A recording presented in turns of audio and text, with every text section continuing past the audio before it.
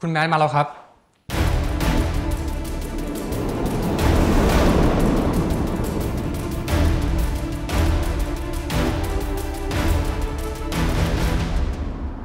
นายนายบอกว่าในไทยอยู่กรุงเทพ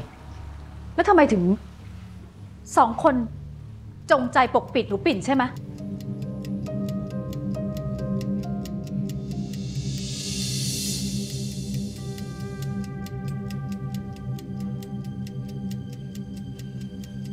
ต้องขอโทษด้วยนะครับ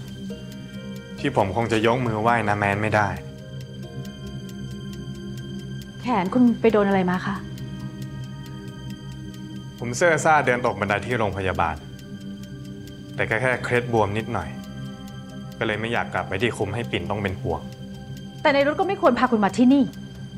สั่งก็เป็นสั่งนาแมนมีอะไรปิดบังผมล่ะครับ ถึงให้ผมอยู่ที่นี่ไม่ได้เนี่ยไม่ใช่แบบนั้นค่ะ คือที่ฟาร์มเนี่ยมันมียาฆ่าแมลง มันเป็นอันตรายต่อสุขภาพคุณ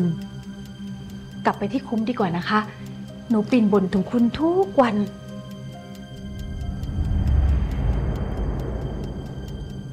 ผมขอบคุณนาแมนมากนะครับ ที่เป็นห่วงเป็นใยผมมากมายขนาดนี้ ผมนี่แทบนึกไม่ออกเลยอะว่าถ้าไม่มีนาแมนกับปิ่น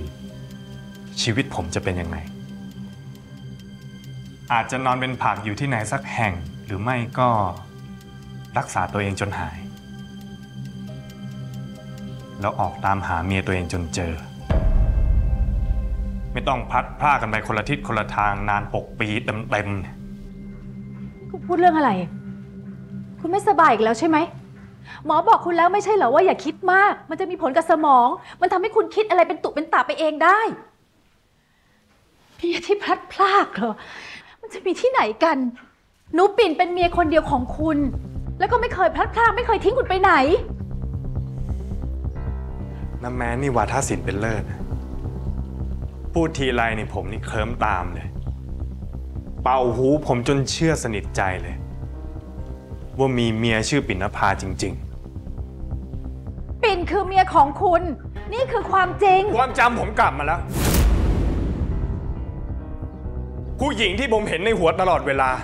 ผู้หญิงที่พวกคุณพยายามปกปิดไว้ ก็คือปาและที่พวกคุณไม่ยอมให้ผมมาเหยียบที่ฟาร์มนี้ ก็เพราะว่ากลัวผมจะรู้ความจริงว่าปลาคือเมียผม เมียที่จดทะเบียนถูกต้องตามกฎหมาย และเป็นผู้หญิงเพียงคนเดียวเท่านั้นที่ผมรัก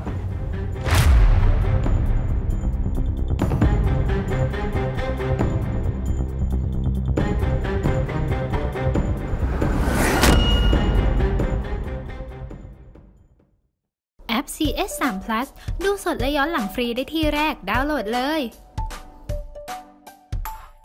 ไม่อยากพลาดละครสนุกกด subscribe ไปไว้นะคะ